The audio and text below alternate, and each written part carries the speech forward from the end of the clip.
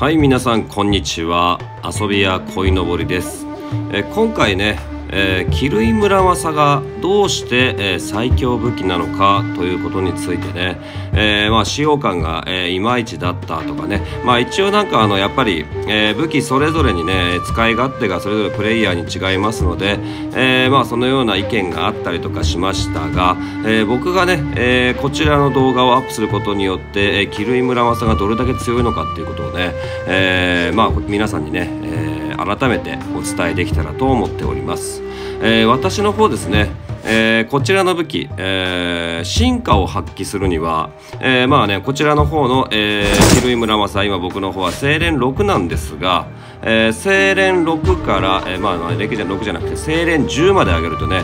えー、まあ普段は、えー、デフォルトの状態であると剣気は2から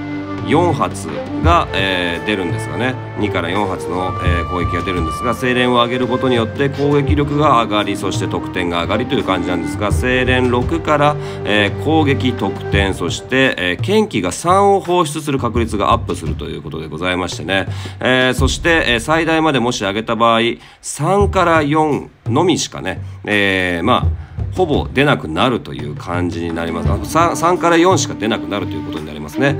はい。えー、というとなっていきますと2がないということはね、えー、火力が、えーまあ、かなり上がるということですね。そもそもこの、えー、村正っていうのはね1個の剣気に対して、えー、一発ですね。一発2.07倍の、えー、攻撃力があります。2.07ですよ。えー、これを、えー、3から4発、まあ、スキルごとに連発するってことは3であっても、えー、まあ単純に6.21倍ですね。6.21倍の攻撃力が出るということです。最低限ですね。もし当たればです全部当たればね。ただ、まあ、減速が速いので、えー、当たる確率は相当高いです。で、えー、あとは4回出た場合は、えー、まあ8点えー8.28倍ですね。もう10倍に近いですね。はい。でしかもクールタイムが2点マイナス2.5秒ですからこちらで、えー、もしですよ。えー、こちらのねちょっと今ちょっとあの言葉に出なかったんですけど、えー、ニングの方の、えー、今ちょっとこれは、えー、検証用にね使ったものなんですが、えー、こちらの、えー、雷竜の鞘ですかね雷竜の雷竜の鞘をつけた場合クールダウンが下がりますのでまあ、さらに、えー、回転率が高くなるということでございますね。はい。えー、そうなってくると、まあ、クールタイムが、まあ、30秒に、まあ、限りなく近くなるということですね。はい。そうなってくると、相当な回転率になります。これだけでも相当な、えー、攻撃力があるということがわかると思います。はい、で、えー、ここからねまだねちょっと触れていくんですが、えー、武器こちらの方ね、えー、皆さんお忘れになってはいないと思うんですが、えこちらね僕ねちょっとパッと見分かったと思うんですが突破の方で見ていただくと僕今ランク0から1に上げました、ね、ランク1から0に上げました。はい。それは何なのか0から1に上げたんですけどこれはどういう理由なのかと言いますと現在の効果。剣気の最大限を5まで上げるということでございましてね最大レベルはプラス2っていうのはとりあえず置いといて剣気が最大限を5まで出せるということですね。えー、なので、えー、こちらの武器ね、えー、もしランク5まで、え最大までね強化した場合はクリティカル率クリティカルダメージなどね、えあとは、え攻撃の威力すべ、てがねえパーセンテージが上がります20%とか上がってきましてさらにはね、えー元気が、えー、まあね、あの最低限が確定するというかね上がる上がるんですけどね。はい。まあとにかくまあこのぶっ壊れ武器になるというねぶっ壊れ武器になります。はい。えー、あの貫突した場合ですね。ただ、えー、ランク1に上げただけでも剣気が5発出るようになるということは、えー、単純にこれを計算すると、え1発2.07倍なんで5発出てしまった場合は10倍ですね、えー、10.36倍のダメージを出すということになりますのでまあ、あの相当えげつないですよね。えー、攻撃、攻撃、こすみません、活力、滑舌が。えー、攻撃力が、えー、2000の場合、単純に2000だった場合であっても、えー、まあね、えー、2000、2000の場合であっても、ちょっと計算しますね。こちらすみません、ちょっと今。ガチャガチャとすみません2000の場合であったとしても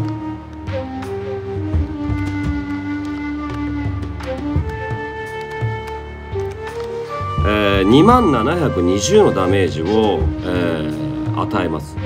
まあ、相当ですよね。2万720、えー、2000だった場合ですよ。これがもし3000だった場合は、えーまあ、もっとね、えー、火力が、えー、出るんですが、えー、3万1080ですね。まあとにかくもうえげつない効力が出ます。はい。で、えー、まあ剣速も速いので当たりやすいというね剣のね、えー、まあ幅もありますからね。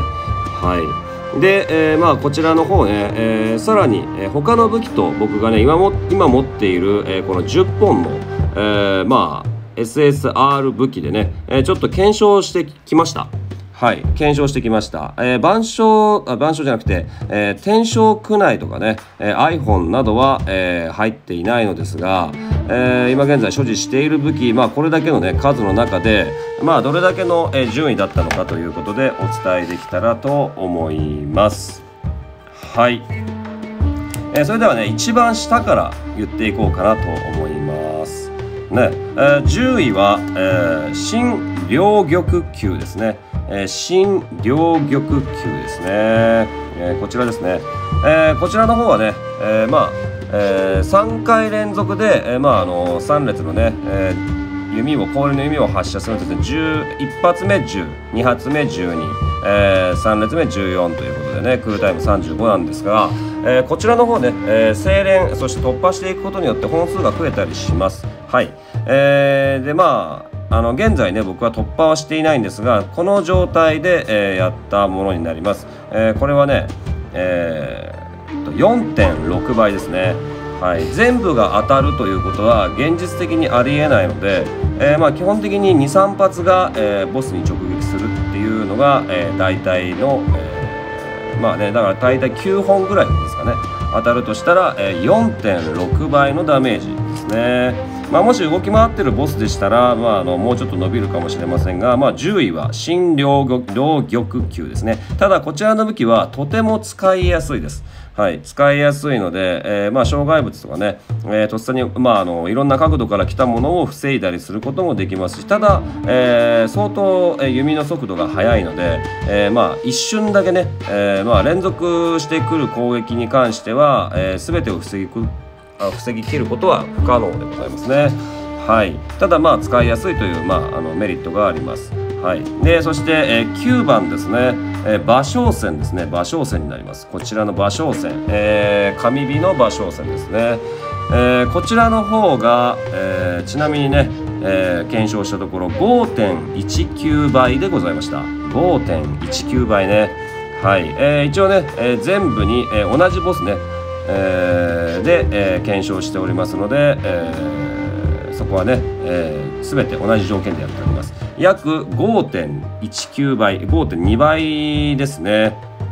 で9位です。はい9位でございます。で、えー、8位ですね、えー、8位は遠縮朱雀ですね、えー、こちらのね突進攻撃ですね。突進攻撃を、えーまあ、行う武器なんでございますが、え、こちらの武器ね、え、まああの黒が使っている感じでねあの PV とかで流れるかっこいい攻撃が出ますね。突進してね無敵時間がある、えー、こちらの方がえー、っとですね。5.6倍ですね。5.6倍。まあ、あの5.6倍なのでねあの全段当たった場合ですからね。約、まあ、5.66倍近い攻撃が出せます。はい、えー、そしたらね次、えー、7位なんですが、えー、円縮。円縮じゃなくてすみません。来縮キリンですね、えー、来縮キリンですね。少々お待ちください、えー、来縮キリンかな？これかな？えーと、こちらはね、えとても使いやすい武器です、えー、20本のね追尾する矢が、えー、まあねあのボスに、えー、していくということでございまして、えー、こちらの方ね、えー、強化していけばさらにね攻撃力火力火力が上がっていくんですが、えー、こちらの方が、えー、現在ね、え確認したところえー、来宿キリンは5.93倍でしたね5.93倍えー、5.93倍で7位です。はい。えー、こちらの武器ね、えー、例えば、地影とかね、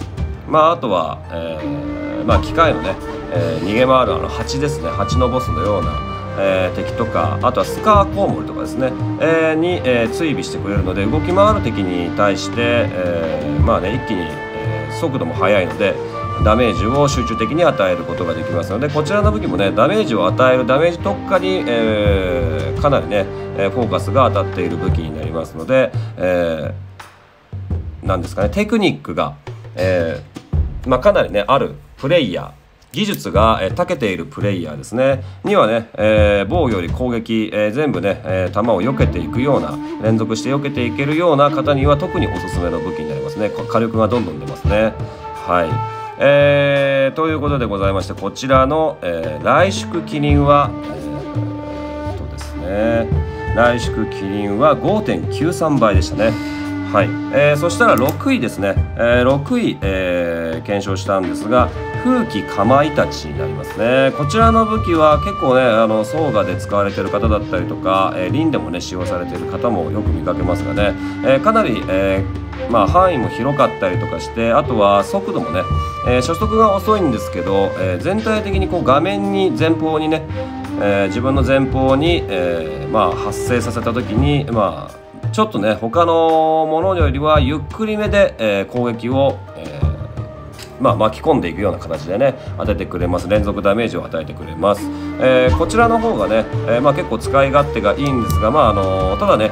使い勝手として、えー、まあ、マイナス点を上げるのであれば攻撃が動きが速いボスに関しては避けられてしまってね、えー、ゼロダメの状態で、えー、まあね、あのスキルを空振りしてしまうということが、え出てくる可能性が高い武器でもあります。デメリットデメリットとしてはね、えー、でちなみにこちらの攻撃が6.4倍ですね。6.4倍でした。まあ約全て当たったらまあ7倍近いえー、攻撃力になりますが6位ですね。こちら6位でございました、えー、そして5番ですね。5番5番。なんかちょっと言い方変えてるんですけど5位ですね、えー、5位はこちらの板書転換になります。はい。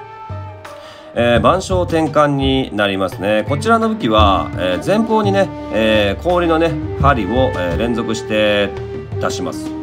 めちゃめちゃ出しますね。連続エネルギー波みたいに出すんですが、え、こちらの方はね特徴がありましてこの、え、傘のマークをね、え、タップしていただくと、え広がって、えフレア型にね、え攻撃が、え当たるようになっておりますので、え前方に、えボスが集中して攻撃したい時とあと敵のね、えまあ、猛攻が来た時とか、えまあ敵のかあのいろんな障害物が、えー、上下から来ている時に、えー、全体的に、えー、前方をね、えー、広げることによって守ることもできる、まあ、攻防一体の武器にもなります。なのでこちらは、えー、まあちょっとね、えー、使い方によっては、えー、相当なダメージが与えられたり、えー、まあね長時間、えー、長い時間ねある比較的長い時間前方に出してくれますので、えーまあ、攻撃を防ぎやすいというねダメージを、えー、受けにくいというね、えー、武器になります、えー、とても使いやすい武器です。はい、え、こちらがね板書転換、え、ちなみにこちらの、えー、板書転換は6.5倍になりますね。6.5倍。はい。ねということでございまして5位が板書転換、えー、そして4位が、えー、発表したいと思いますがこちらはね風縮総流ですね。風縮総流ですね。はい、えー、皆さんねこれ結構聞いてこれ使いづらいなというかねかまいたちのちょっとかまいたちよりちょっと攻撃が遅いのかなという感じでございますが、えー、こちらの武器ねたまに使われてる方も、えー、いらっしゃるのですがそんなに使う方がまあいないというような、ね、感じの武器でございます、えこちらの、え武器に関しましては、えダメージをね、えお伝えしますと6.7倍ですね。6.7倍、え風縮総流は、え6.7倍。えー、ただこちらの武器ね範囲がまあある程度かまいたちぐらいの範囲はあるのですがただねこれが遅いというかね初速が遅かったりまあ攻撃自体もね最終的に、えー、最高速度に到達しても遅いので、えー、まあ、やっぱり地影とかね動きの速い敵に対してノーダメで、えー、まあ、行ってしまうというね可能性もありますので結構リスキーなね、え武器でもあります。ただ、え攻撃を、連続で当てることによって、まあ、当てられたらね、慣れているプレイヤーでしたらまああの大ダメージをね与えることは可能なんですがただ空振りしやすい武器ということでちょっとねあまり人気がないという感じでございますかね。はいまあ、人気がないっていうとちょっとね使ってる方にちょっと失礼かもしれないんですけどねまあそんな感じでございますはいそしたら3位ですね、えー、3位につきましては、えー、龍神の共演ですね肉武器ですねまさにねこちらの武器、えー、とても人気でございますえー、まあね強化していくことによって、えー、まあ精錬を上げることによって50%の確率で、まあ、2回の攻撃を防ぐようにあの、ね、スキルを使った時に防いだりすることができて攻防一体ですね。本当にねこちらの武器は、え、ちなみに、え、まああの強化していくことによって、えー、全てのね敵から、え、肉をドロップすることができるようになるというね、まあ、あのかなり使い勝手のいい武器でございます。なので高難易度で、えー、まあ、かなり映えるというね、えさらにあの映えるというかまあ生きるというかなんて言ったらいいんでしょうね、えまあ、かなり活用しやすくなっております。でこちらの武器なんですが、えー、追尾するのでね6秒間、えー、4本の串焼きが追追尾しますということでございまして追尾し続けるということはねやっぱりあの逃げるボスに対して、えー、まあ、攻撃を当てやすいということでございましてこちらの方はねダメージを伸ばしやすいですね。まあ、ただクールタイムがね39秒と、まあ、他の武器と比べてちょっと長めの感じですがこちらは7.0倍の攻撃力ですね。はい7.0倍。まあこちらは、えー、まああの初心者から、えー、ベテランまでね、え、多くの方が、え、使いやすくて、え使っているという感じですね。はい、えー、そしたら、えー、次のね攻撃2位はね、えー、お伝えしていきたいんですが千来一文字になりますね。千来一文字、えー、こちらのね千来一文字になります。はい、えー、こちらはね自分を中心に回る5つの玉が、えー、まあ召喚したら6.5秒の間、えー、拡散しそしてね6.5秒後に、えー、まあ、大きくね円を描きながら、えー、螺旋状にね、えー、広がっていきながらダメージを与えながら、え障害物を壊しながら広がっていくということでございます、えこの攻撃に関しましては、え一応ねえ5発全て当てた場合の、えまあ、最大火力なのでちょっと高くなっているんですがはい、えーそれで計算いたしました結果えー、8.7倍ですね。8.7倍。ただこちらの攻撃ねあ攻撃というかこちらの武器なんですけど、えー、近接かなり近づいて、えー、戦ってくるね、えー、例えば式神とかに、えー、まああの近接状態のところで放ったら相当ダメージを与えたりとかねできるんですが、まあ、基本的には動きの速いボスにはねあの攻撃が、えー、まあ12発しか当てられなかったりとかして火力が出せないというね火力よりも、えー、まあ基本的には、え、6.5秒のね、えー、回転を、えー、まあえー、ダメージを防ぐとかねそういう方に、まあ、使われる方が多いんじゃないでしょうかね。はい、なのでね、えー、サブ武器で持たれる方とかね、まあ、メインで持たれる方っていうのはかなり少ない、え、印象に受けております。ね。えー、まあ、サブで持つとしたら基本的にはま iPhone だったりとか、まあ、笛だったりとかね今回ここにねないんですけど、えー、そちらの方を、まあ、持たれる方の方が多いんじゃないでしょうか、えー、あとはね、あのー、まあ、板書転換だったりとかね板書転換ではなくて、えー、表彰区内ですね、えー、そちらの方を、えー、まあ、そっちの3つの方がもし持たれてる方だったらサブ武器として使われてしまうので千来一文字は、まあ、ちょっと使い勝手が悪いというね印象でございます。ます。まあ、ただ僕はね、このフォルムが好きなのでかっこいいと思いますので、えー、まあね、たまに使っております。攻撃を防ぐ時とかね。はい。まあ、無傷でもね、この千来一文字は使いやすかったりします。あとはね、えー、ミッションの物語とかでね、えー、もし、え障害物を、えこれだけ、あのまあ、25体、えー、25個壊せとかね、まあ、いろいろなミッションが出てきますから、そういう時に、え6.5秒ね、回転してくれてるので、結構なものをね、巻き込んでくれたりします、手裏剣とかね。はい、なのでこちらの方は無傷だったりとか、えー、ステージクリアのね、えー、星を獲得する時に、え、使いやすい武器ではあります。はい、なので、えまあね、え攻撃力は出せないんですが、えとても使い勝手のいい武器でございます。はい、それではね、えー、1位やっぱりね残ったのは、えー、まあ、この結果なんですが桐生村正になりましたね。はい、こちらの方がねやっぱりあの最初にお伝えした通り、えー、10.36倍ですからね、まああのー、一応順々に、えー、上げていったんですけど最低の診療玉君が4.6倍からの、えー、徐々に上がっていて大体がね6倍から7倍の、えー、攻撃力のえー、まあ、幅がありますが、えー、基本的には桐生村正は、まあ、検測も早く、えー、検気が早くね5発もし出た場合10.36倍、えー、そして4発当たった場合でも8.8倍ですね8.2ちょい倍ですね8倍ですねまあそれだけの火力が出るってことは相当でございますからねあのー、もう十分な、えー、まああの攻撃えー、攻撃の火力がね、えー、出せるというふうに期待できると思います。えー、ちなみに、えー、こちらのね、えー、キルイ村正なんですが使い方としては、え、まあね一突している状態であれば、え、十分ね、え、無限疾走などで、え、障害物を壊したりとかね、え、ボスに大ダメージを与えるということが、え、現実的に可能になりますので、え、まあ万能で、え、扱える武器になると思います。高難易度ステージでもねあの3発から4発出ただけでもかなりの攻撃を防ぐことができますので、まあ、高確率でね、えーまあ、あの敵の攻撃を、えー、塞ぎながらさらに貫通していって、えー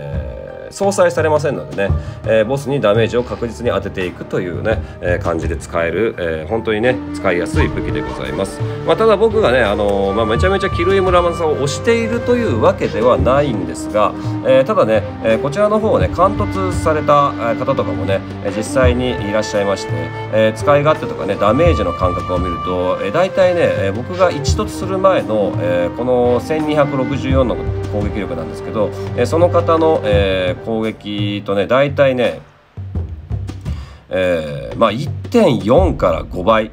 は、えー、一緒にね、あのー、お尋ね物行った時に差がつきます。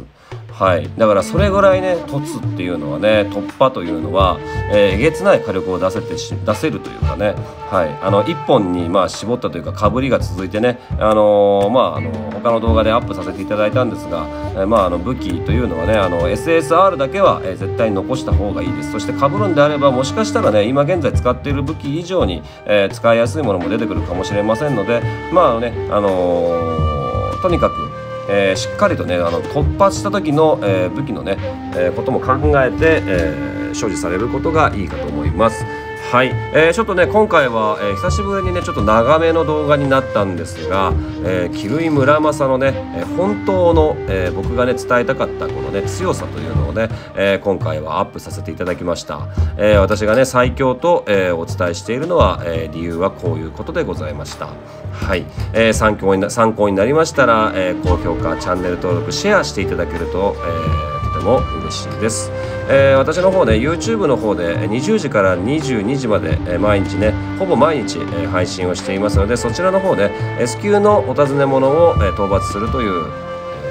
ことを中心にね配信をしておりますので、えー、皆さんね気軽に、えー、遊びに来ていただけたらと思います、えー、この配信配信の中では、え動画以外動画で、えお伝えできること以外に、えまあいろいろなね、え情報を、えまあねいろんな方と、えお話しして、え公開していたりとかまああのテクニックだったりねお話ししたりしていますのでまたねぜひぜひよろしくお願いします。はい。ということでございまして今回はここまでにさせていただきたいと思います。皆様ご視聴ありがとうございました。遊びや恋のぼりでした。またね。